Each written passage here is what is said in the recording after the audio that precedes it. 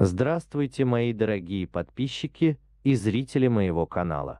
Армянская пропагандистская машина – одно из самых подлых и больших зол современного мира, распустивших свои щупальца по всей мировой информационной системе. Масштабы этого бедствия в будущем могут быть сопоставимы с последствиями коронавируса. Поскольку оба эти вирусы имеют одну природу, генетику и цель. Это создание ложных образов, ложного мира и передел этого мира под свои интересы. Это стратегическая цель армянства – захват руководящих позиций в ведущих мировых СМИ. Особенно явно это просматривается на примере России, где неармянские главные редактора и директора средств массовой информации стали уже редкостью. И если даже этнические армяне где-то пока не первые, то обязательно вторые или третьи с перспективой на дальнейший карьерный рост. Определение «информационное пространство России» ни в коем случае нельзя воспринимать буквально. За последние 5-7 лет армяне совершили катастрофический скачок в армянизации российских СМИ, включая кино и телевидение. Ведущие российские медиахолдинги возглавляют армяне. Крестная мама армянского лобби российских СМИ, ярая армянская националистка Симоньян.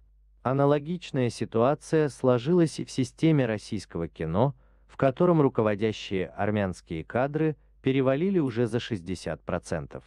Об этом с гордостью говорил непосредственно директор киностудии «Мосфильм» Карин Шахназаров в интервью армянским СМИ армянскими медиа-адептами на приватизированном ими российском информационном и кинематографическом пространстве ведется целенаправленная последовательная работа по распространению вредоносных армянских фальшивок.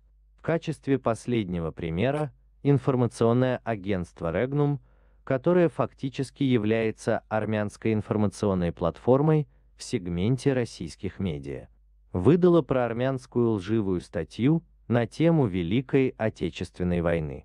Лучше бы написали о памятнике фашисту Горегину Нжде, к подножию которого армяне несут цветы в День Победы над фашизмом. Но об этом я уже говорил. А сегодня хочу напомнить еще об одной исторической фальшивке. Созданной армянами за российские деньги на российских площадках наперекор российским интересам. Один из таких вопиющих примеров Фильм «Боязет», в котором с подачи армян искажение исторических реалий достигло такого масштаба, что на это до сих пор обращают внимание российские зрители. Так, на Дзен Яндекс была размещена статья «Сериал «Боязет», канал «Россия», как героя Российской империи сделали предателем.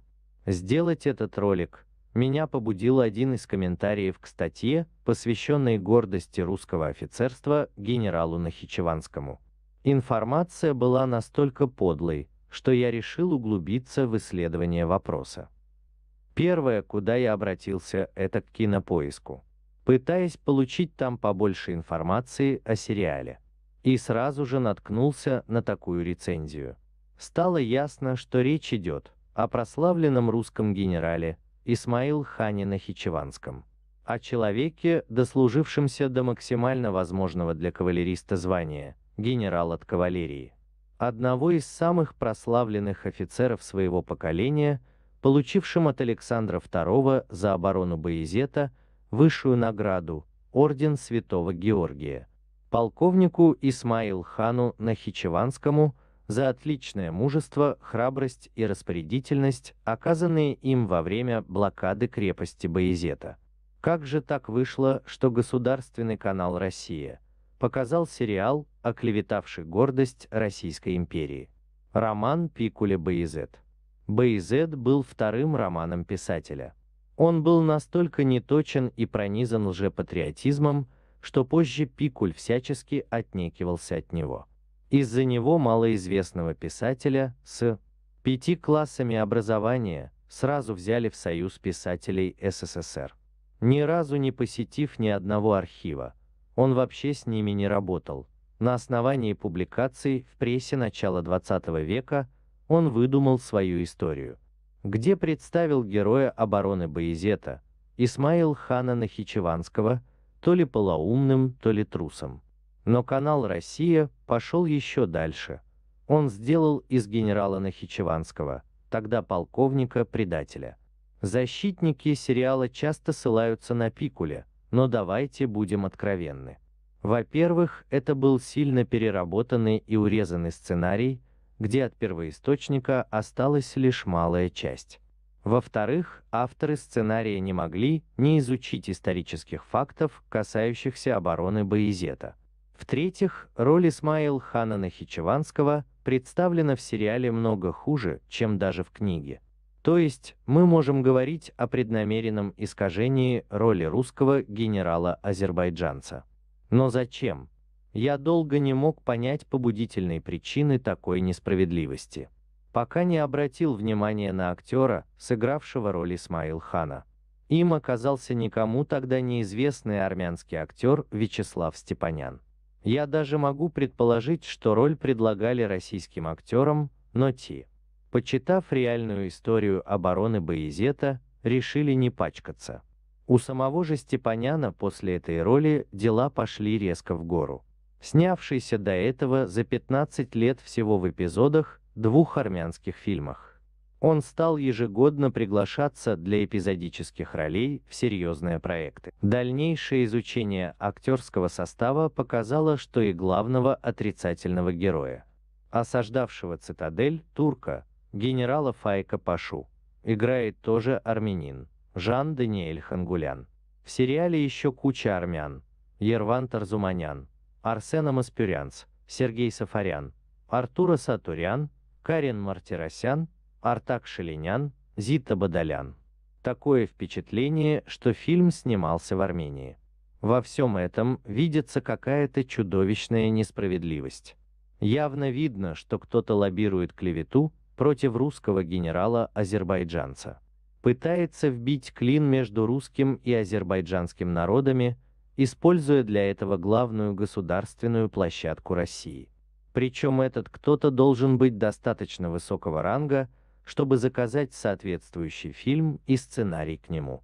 Продвинуть армянских актеров, главное, на те роли, где надо от души сыграть отвратительные образы. Показать все это по государственному каналу в прайм-тайм. Чисто армянская подлость, которая в крови этого подлого племени. И его ничем не исправишь. Положение осложнялось тем, что сериал был снят в 2003 году, поэтому через 17 лет следы могли элементарно затеряться. Однако опасения оказались напрасными.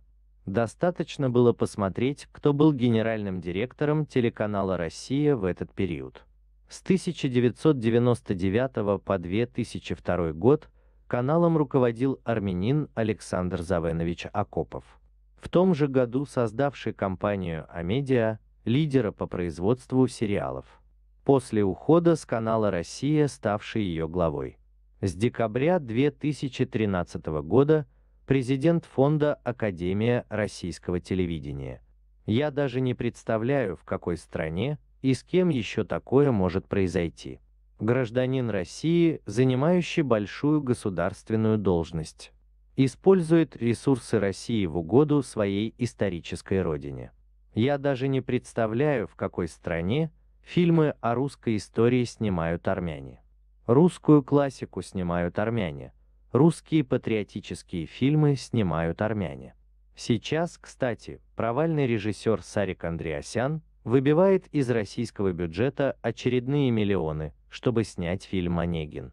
Это же государственное преступление – отдать управление идеологией средствами массовой информации, кинематограф, как один из главных инструментов воздействия на общественное мнение, воспитание и восприятие, под тотальный контроль армянской этнокорпорации, пропагандируя ненависть к дружескому россиянам народу. Может, он поэтому и пытался оболгать азербайджанца Нахичеванского, потому что тот, в отличие от армянина Акопова и остальной своры армян, остался до конца верен России.